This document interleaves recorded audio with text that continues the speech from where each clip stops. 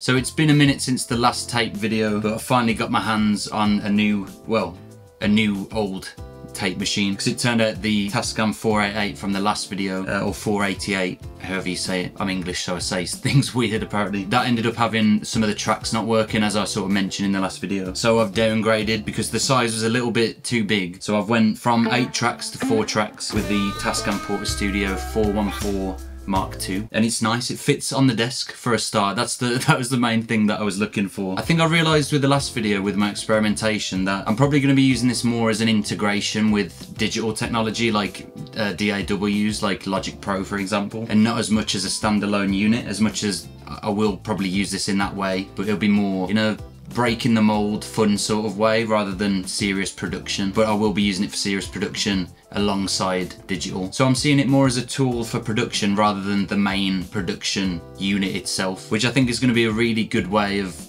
of utilizing this in my modern sort of production style that I, I'm used to and that I, I enjoy doing. So that leads perfectly into the topic of this video, which is ways that I've come up with to use this with the DAW, like Logic Pro, like Pro Tools. So I'm going to be going through and experimenting in real time some ways that I've sort of come up with to use something like this, an analog piece of equipment alongside a modern DAW and get some really good results with the combination of the two. So the first way I've thought to use this is to send digital tracks that you've recorded already to the cassette recorder and then do some mixing on here. I was actually setting up for the video and I started doing this and I was like, oh, this is literally the first one.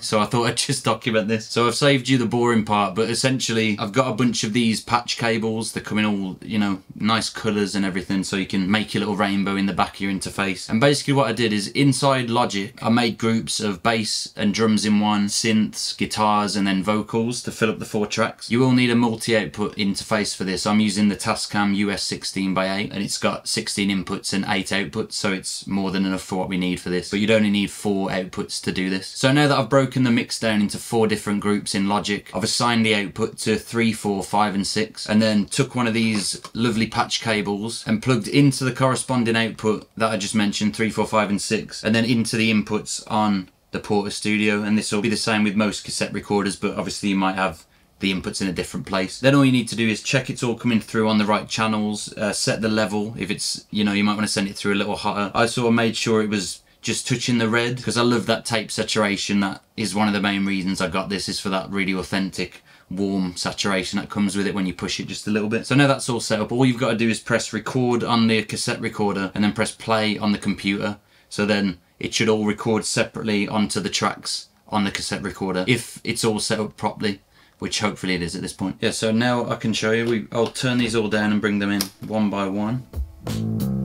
So this is a track off my upcoming album. I just thought it was a good one to break down into four tracks and it's just a rough mix at the moment and obviously even more rough on here so don't judge it too much. But I'll just press play and then bring in the tracks one by one and then we can hear how it's all split up. So the first one should be bass and drums. You can already hear that like nice breaking up uh, tape saturation on there. And then on this channel it's just some synth stuff. This one should be guitar but there's no guitar at this point. And then vocals on this track. And then all together. Scroll and scroll again. It's about time that I check my friends. It did seem to mess with the timing a little bit, sending the tracks from my interface to here, but I've been having some issues with the digital Tascam, the 16 by 8 I know it's confusing because they're both Tascam, but I'm talking about the digital DAW, the the one that connects to my computer. It's been just really glitchy recently, so I think that's why. But I'm just going to carry on with it for the sake of this video because I want to just use it to demonstrate some of the things that I'm going to do. Yeah, so it's pretty cool to like be able to break it up like this and physically be moving this. I said this so much on the last video. When you're so used to using a keyboard and mouse, you don't feel that tactile connection to the song and to like actually moving things about. You know, you just, you feel it more and that's so important with music I think. That's why I'm experimenting with this sort of stuff with combining the two. The next use case that I've thought of that I think adds a ton of versatility is using the DAW as an effects unit. So we can send tracks from this into the computer and then return back into this and then because we've got two effects sends we can then use these knobs to control how much of the effect we can actually hear when mixing on this. This opens up unlimited options for effects that you can use like you could literally use anything that you can blend in which I think is a pretty pretty big deal in terms of expanding what this little unit can do. I was already checking to see if this worked, so I've got this set up, but I'll run through what, what I've done. So basically, we got our best friend for today, the patch cable. That's going into effect send 1, which is controlled by this level, into the computer and input 9 in my case, and then back out of the computer with this cable, out of output 3, into stereo input 5 or 6, which should bring the signal back in of the affected signal. So basically this one sends the signal out into my computer and then this cable brings it back out with the affected signal that we can then blend in using the effect send knobs here. Makes sense? It took me a sec to like get used to it all. This should work now, hopefully. Let's let's find out. So now we just need to set up a bus in Logic and then hopefully, fingers crossed, everything should line up and work and come through on here with whatever effect that we've put on it. So I've created a bus in Logic now. We're just going to call this one Reverb. So the input I went into was input 9, but that will be different for you depending on your interface. And the output needs to be mono output 3. Whatever we play through these channels should come out of the effect send and back through so we can control it with this. So fingers crossed. Oh yeah, I forgot to load an effect. So I'm just going to add my favourite reverb, which is the Native Instruments RC24. So this is the effect that we're going to be hearing. Okay, so if all this is set up right, we should now hear this. Okay, so we'll just do this on the drums, but... Yes, it's worked. So we could add this on anything we want. Probably be nice on vocals.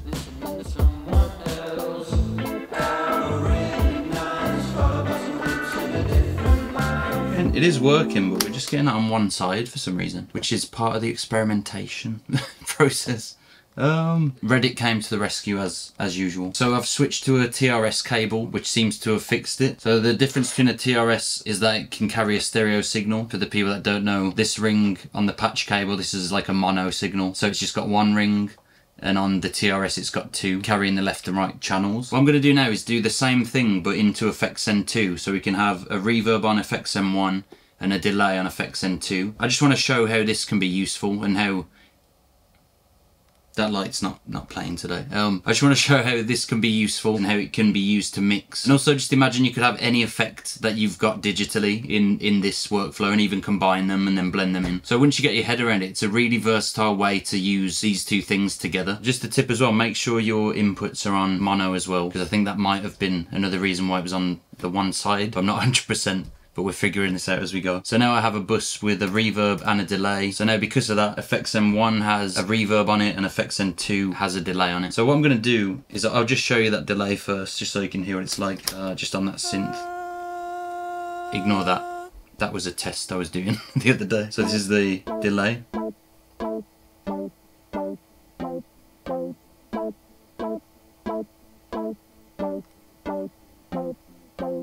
Yeah, we have both now, which is amazing. And if you wanted this to be a little less screen based, I guess you could just leave these loaded up and have this set up how you want it. And then just use those as you would hardware without changing too much. I mean, you could just have this set up as you like it and then just use the same effects every time. But I really like how you can change this up however you want. Like I could have any effect on here and blend it in. So what I'm going to do now is have a little quick rough mix and just play around with the effect sends, the EQs, and just see what sort of sound I can get by combining these two. Bear in mind again, the timing's slightly off between it for some reason, and I think that's because of the interface. So try and ignore that. But I'm just going to see what my first combination of digital and analog together can produce.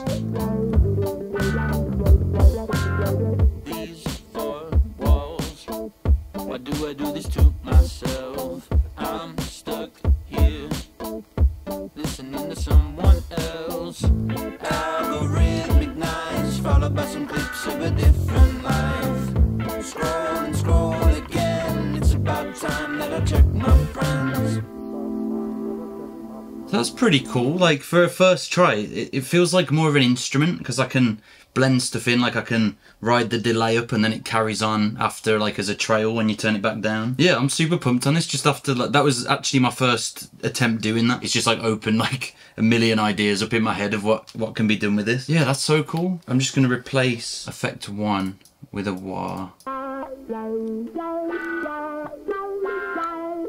Yes we got the wah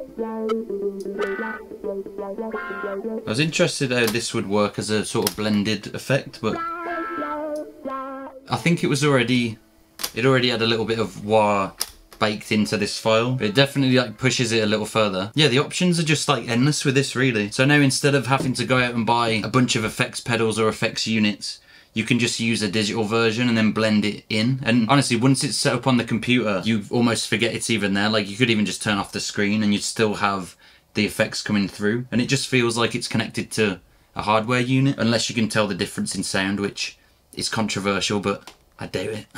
so that's another way that this cassette recorder can be used with digital technology. Somehow it just works in unison so well, it's kind of beautiful. So another way that this can be used with a DAW is for monitoring purposes. So a company called Sonarworks makes a piece of software called Sonarworks Reference ID I think that's what it's called now. I've got a really old version and it's called Reference, I think. Sound ID Reference. Basically what it does is instead of treating the room with stuff like acoustic panels and, you know, bass traps and things like that, it will make a reading on each speaker using a microphone and basically walking around the room for like 20 minutes just with this beep thing. It, it sounds insane. But after it's got the data, it'll analyze and then apply an EQ to each speaker individually. So instead of you treating the room to deal with maybe some drops in the low end or high end or whatever your room is causing, it will EQ the speakers to make up for that. So you'll get essentially a flat response. Honestly, it's incredible. I don't know how it's not been thought of earlier. But by using a cassette recorder and sending the output through your DAW, you can put Sonarworks on the output and then you'll actually get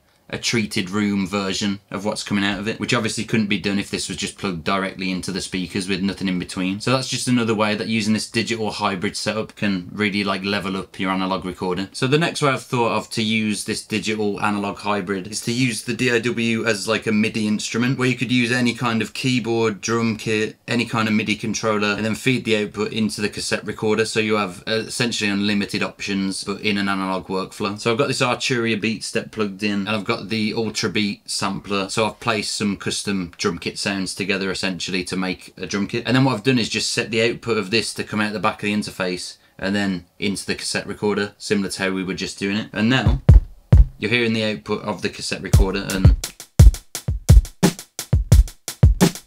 yeah it's working, which is amazing. But you could use this exact same method for any keyboard sound, any drum kit sound, essentially any like digital instrument that you can use. So I'm going to start recording a song essentially. I wouldn't normally start with drums, but this made more sense for this video to go in this order. So I'm going to get this recorded in and then add some more stuff in and I'll show you what other ideas I've got in mind. We're going to hit record and hope this goes well. Didn't mean that, but let's we'll keep it. For the sake of this we'll keep it. So let's find our new zero point. I really like on the 414 how it's got like a what do you call it? It's got like an analog counter. I think it's so cool like so when it plays you just see it rolling.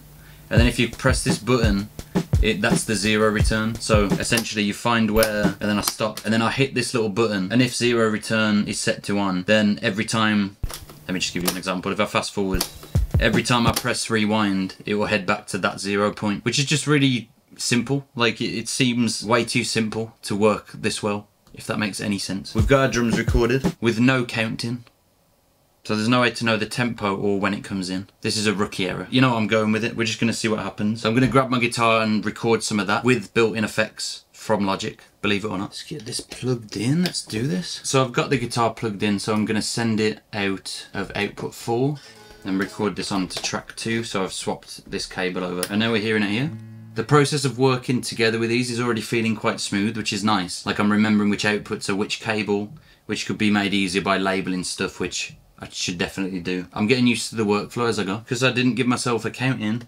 I need to get used to when this comes in. For you I was messing around out there. I realised that I played it way too fast on the drums as well, so I'm going to try slowing it down. But I don't know if that speed, if that slows down everything.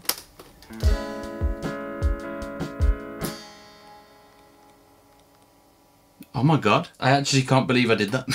that was like first try as well. I forgot to even mention that, so that was recorded with Helix Native, and now I have access to every amp ever kind of I can use to record into an analog system as well. It's looking good, man. It's looking good so far. I'm liking it. So I'm going to keep recording a few parts onto this and then I'm going to show you another way that I've thought to just make this unlimitedly versatile. Okay, so I've just been having an absolute blast filling up the other channels on this. On track one, we got the drums.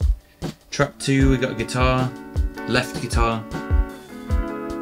Track three, we got a little bit of lead guitar I decided to do another guitar on the right to add like more width to everything.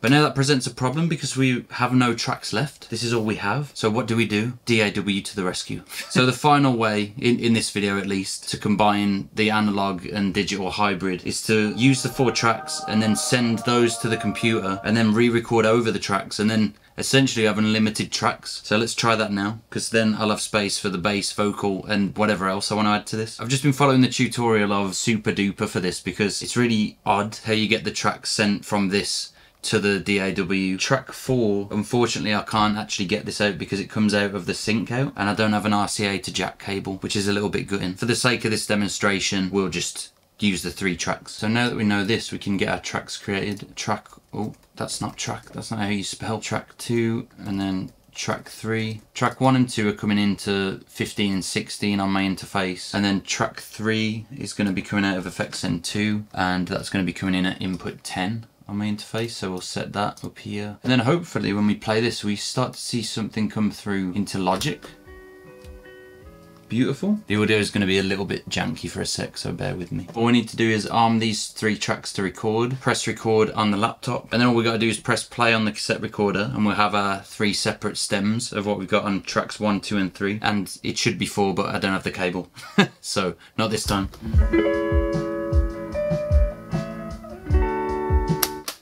And there we go, let's just double check that that's all good.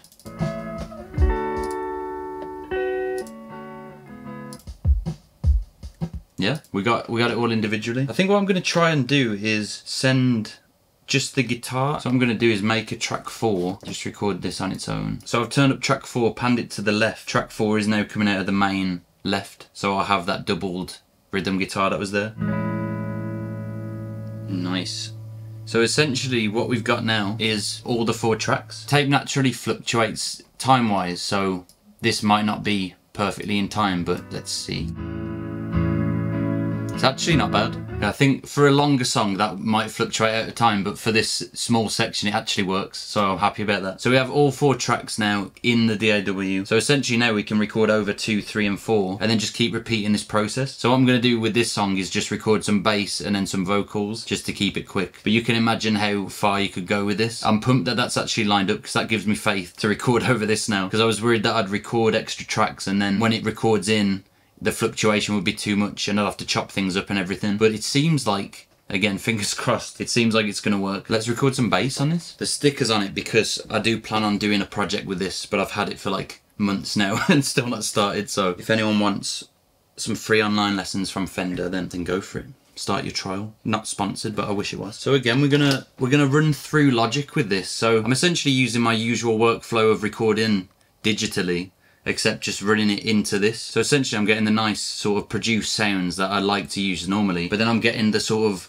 one take organic sort of feel of the cassette recording, which is perfect for me. That's what honestly what I've been looking for through this whole journey, so I'm pumped on that. That'll do. So I'm going to go ahead and record vocals and some harmonies as well and then send all that and see how in time it is. So essentially what I've done now is similar to what we were doing before. I've just basically set up the output to go into the input of this. I've got a few effects on this as well which are just going to be printed directly in. So we're still getting that analog sort of commitment but obviously in this digital workflow. So I've got an EQ, a compressor, another compressor and then I've sent it to a reverb bus as well. So this is what it's sounding like might add a little bit more reverb. So I'm gonna add some, that might be too much reverb actually. So I'm gonna add some vocals and harmonies to this on channel three and four and then bring it in. Let's just go for a take. I was waiting my whole life. Nope.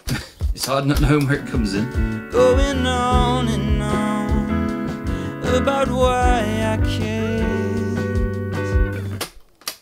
That'll do. I've been missing writing songs, feeling like I'm wrong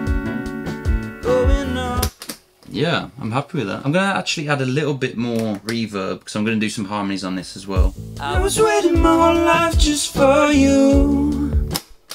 Again, good enough. So now we've recorded over 2, 3 and 4 with bass, vocal and harmony. So what we're going to do is repeat the same thing we did where we record the tracks. So we're going to go through that process again and then line it up and see if this works. And then if it does, you could literally go on forever. Essentially, you have unlimited tracks with that nice analog tape sound. So we did it.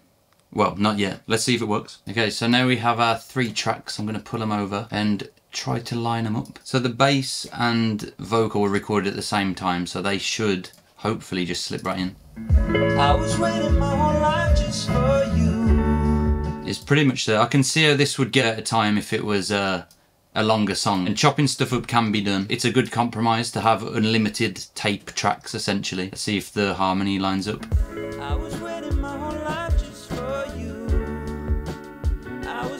So it's all lined up, that's amazing. So what we've got here is essentially a seven track, four track song, which is pretty cool to even just imagine how far you could go with that. And it, and it really does have that like tape feel.